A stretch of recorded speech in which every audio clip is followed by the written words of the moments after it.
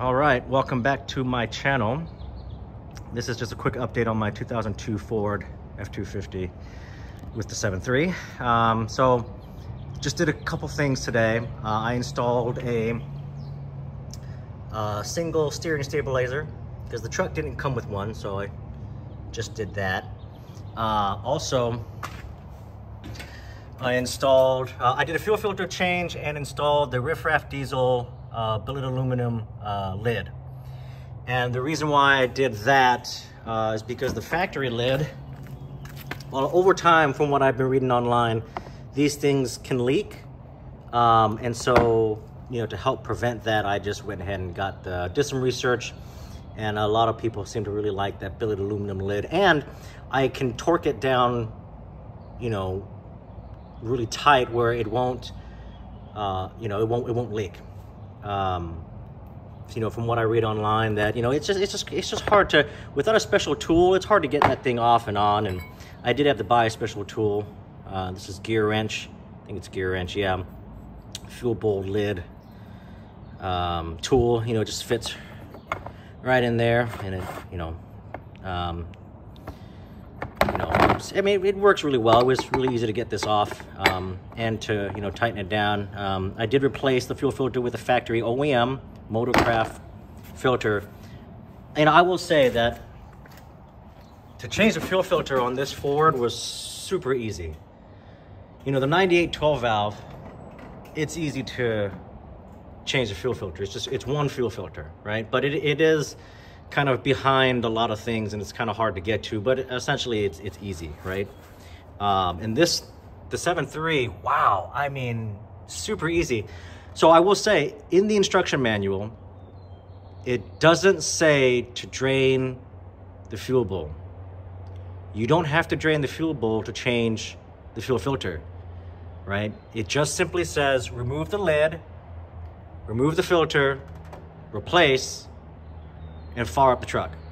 And that's exactly what I did. As a matter of fact, I did confirm that also with, uh, you know, those Ford coffee table books for the 7.3 Power Stroke, well, for the Ford diesels. Um, if you don't know what that is, um, maybe I'll provide a link or something where you can take a look. I, have talked about them in the past when I had my 6.7 Fords, um, but essentially it's a, it's a, it's like a, you know, it's a coffee table book. Goes into great detail about the engines, the, you know, the 7.3, 6.0, 6.4, and the 6 seven power strokes. Uh, but even in that coffee table book for the 7.3, it, it simply states remove the lid, remove filter, replace O-rings, and replace the lid, and that's it. Fired it right up. Uh, that's exactly what I did. And when researching that online, some people will drain the fuel bowl. You know, if you feel that there's water in there, then you drain it. But the O-rings, as everyone knows on these fuel bowl, fuel bowls, they tend to leak. And a lot of times, from what I've read online, that those that keep draining, you know, opening up that drain valve because those O-rings on the drain valve will leak. This truck is 22 years old.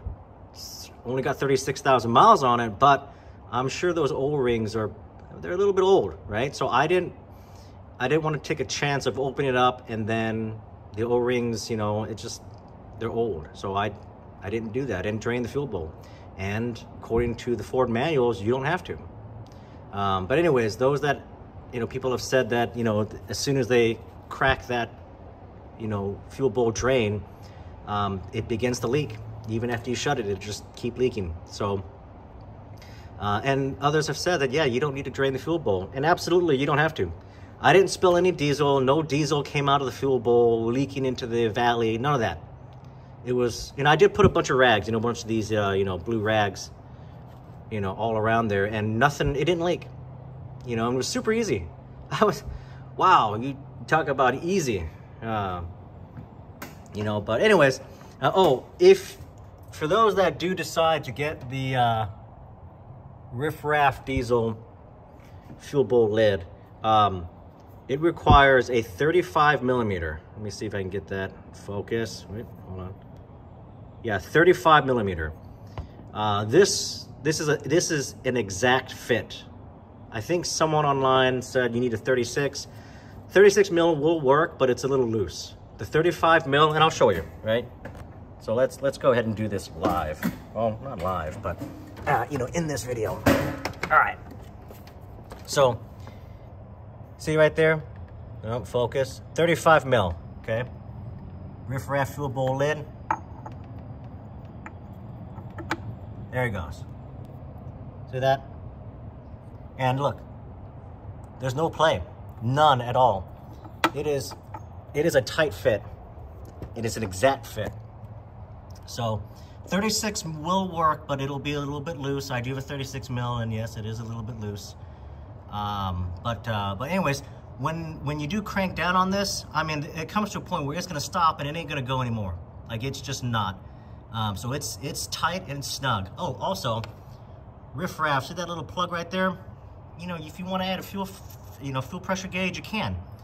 Uh, now the bolt itself has pressure ports that you can test and add a fuel pressure gauge, but you know, it's just nice, just has another, you know, extra place to check fuel pressure. So that's nice. I, I do, this is a nice piece, it really is. So I, I highly recommend, you know, if you have a 7.3, this, this lid is worth it.